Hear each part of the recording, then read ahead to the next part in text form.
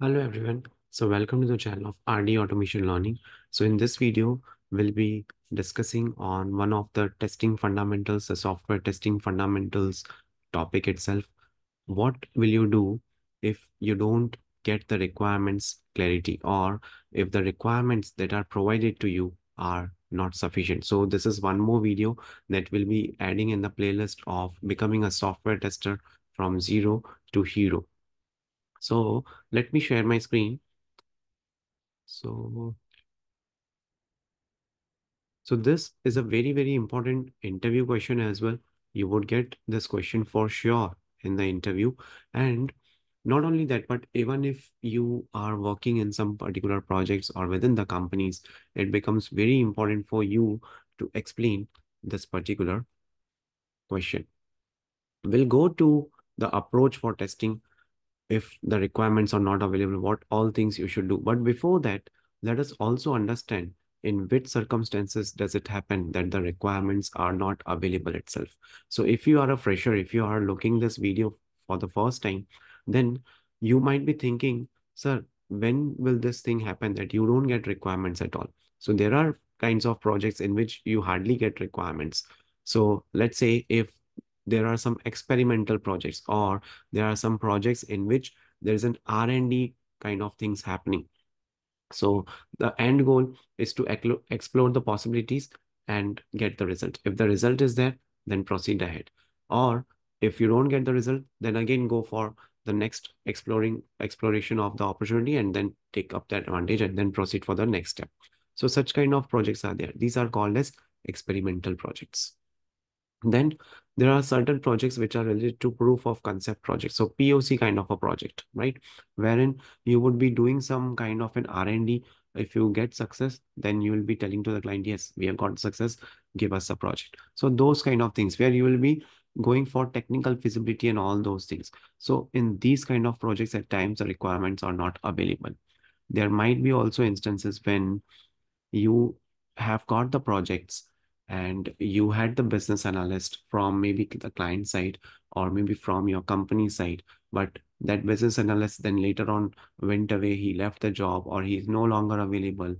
Or let's say during when the project started, the business analyst was there, he was documenting something, but that documentation is not at the place. So all these things will lead up to the ultimate thing that the requirements are not available itself. So in this case, what would be your approach for testing? So let me take you to various things. So the very first point that you should understand here is you have to communicate with your stakeholders. So this is with respect to QA leads. If you are a lead kind of a person, if you are a senior kind of a person, then what you have to do is you have to communicate with your stakeholders.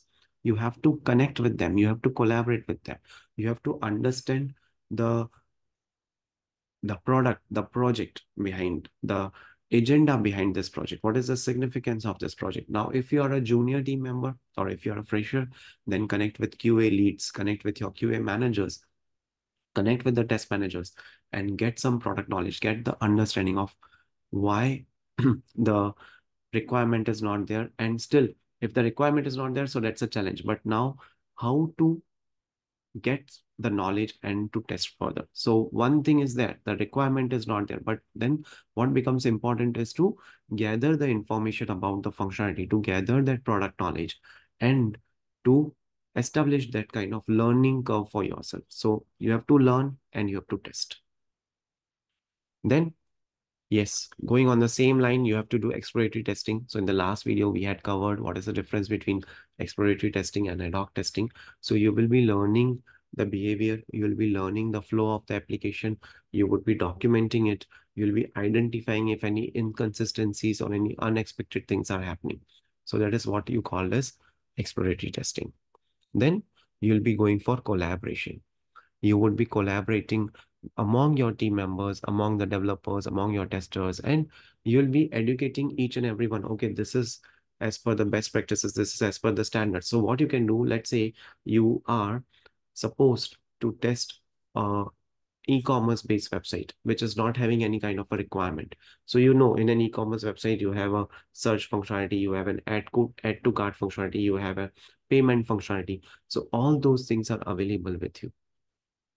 So what you will do is you will identify similar domain kind of websites which are available online and you will try to trace the behavior. You will try to understand the behavior of those particular websites and you will try to implement the same things here.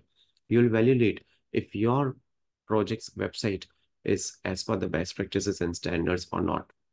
Looking at the similar things that are available in the market or in the live environment. Knowledge sharing. So it becomes very important that you are sharing the knowledge with other testers. At times you have to share the knowledge with the development team and it, at times you have to update stakeholders also that this is how the flow has been captured here. This is how it the this is the behavior here. This is how this functionality has been documented here. So that's how you will do. So you have to collaborate with other testers and the stakeholders. You have to share knowledge and insights. And that's how you will grow together.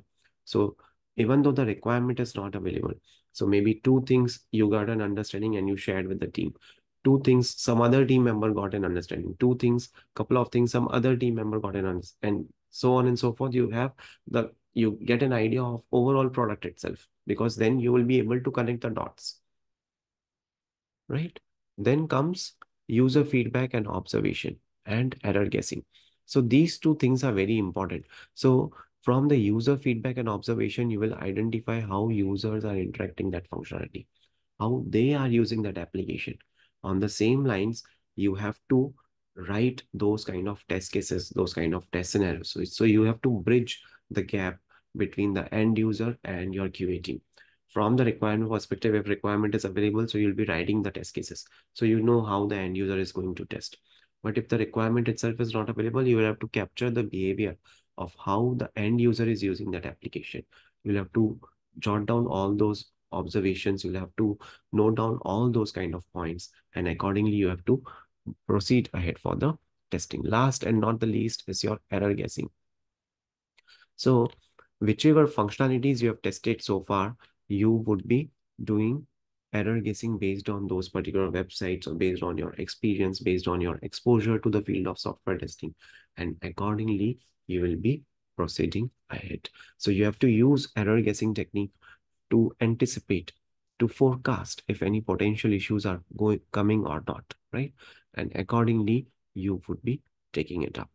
So let's say in an interview also, you might get this question that if we give you a project in which we don't have much requirements, then what will you do? So you can cover all these points. So a quick short summary for this video is, or this question is, communication with the stakeholders, doing exploratory testing, collaboration, knowledge sharing, user feedback and observation and error guessing. So all these things are very much necessary if requirements are not available to you. And we have also discussed the scenarios in this particular video when the requirements will not be available with you right? So that's it for this video. This was one more video that we wanted to add into our playlist which is becoming a software tester from zero to hero. And i really apologize that i could not update this particular playlist from so many days. So i thought to come up with one more video related to that. And this is a very important interview question. Not only you have to study all these things from interview purpose but you also have to grab this understanding from the uh, daily testing purpose. So if you are someone who is having a career gap, if you are someone who has not been into the testing, who is switching their job from non-IT to IT, or if you are someone who is not having a real-time knowledge, then these kind of videos would actually help you to get those kind of knowledge and to work in a real-time projects. Thank you so much for watching this video and stay tuned for more updates.